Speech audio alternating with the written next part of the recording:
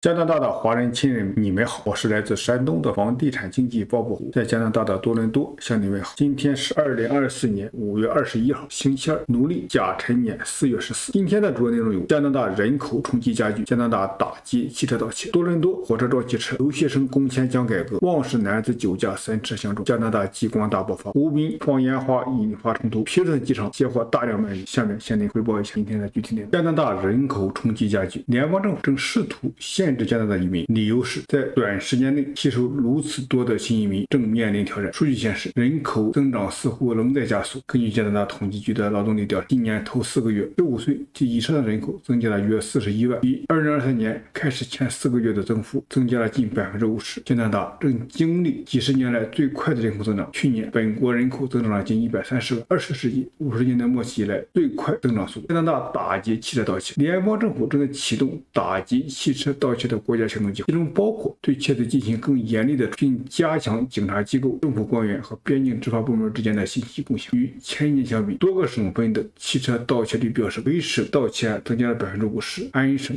盗窃案增加了百分之三十四点五。加拿大司法部长表示，我们正在增加针对汽车盗窃案及其与暴力和有组织犯罪的新罪名。政府正在提议针对劫车团伙的头目和那些通过有组织犯罪洗钱的人设立新的罪名。多伦多火车撞汽车，二十。日早上，一列从蒙特利尔出发来多伦多的火车撞上了一辆汽车，导致汽车翻滚多圈，汽车驾驶员身受重伤，被送往医院，情况危急生命。撞击时有一声巨响，现场铁片乱飞，而且汽油味弥漫。当时大多数人在火车上睡着了，然后突然被撞击惊醒，当时出现了巨大的撞击声，火车也开始摇晃起来，有很多铁片从窗户飞过。随后火车就停了下来，被撞的汽车已经翻滚到旁边的稻田里。留学生工签将改革，在过去的十多年里，来加拿大的留学生无论选读什么高等教育课程，在毕业后都有资格获得开放式工作签证。这跟他们的课程是否是加拿大需求的行业无关。为了控制留学生人数，移民部长暗示将改变毕业后工签的规定。专家们表示，渥太华需要将其作为满足加拿大劳动力市场需求的工具，并为获取永久居留权提供更清晰的途径。毕业后能在加拿大获得毕业工签，一直是很多人在加拿大留学的主要诱因。因为移民制度越来越多的让这些已经身在加拿大的候选人成。为永久居民，这些制度有利于那些拥有加拿大教育证书、工作经验的人。男子酒驾三车相撞，周日晚间，安省旺市发生三车相撞事故。车祸发生在晚上十一点三十分，位于四百号高速公路的泰斯 n 路上。车故事故造成三人受轻伤，被送往医院。一名来自多伦多的男子已经被逮捕，并被指控酒驾、危险操作机动车辆以及血液酒精含量超过八十毫克。除了这些指控外，警方还表示他的车辆将被扣押七天，并且他还将面临九十天的驾照吊销。加拿大极光大爆发，上上周在。加拿大产生的令人惊叹的极光已经结束，但太阳对我们的影响可能还远没有结束。未来几周，加拿大可能会有更多的极光。专家表示，太阳的活动水平实际上遵循大约十一年的周期，现在正处于太阳活动大期。在接下来的两到三年里，我们将看到大量的太阳活动，包括 X 射线月斑和日冕物质抛射。日冕物质抛射是指等离子体从太阳日冕喷射到太空，通常以每秒钟几百公里到每秒钟几千千公里。的速度向外传播，加拿大未来几周将会再次看极光，虽然看起来不会太精致，但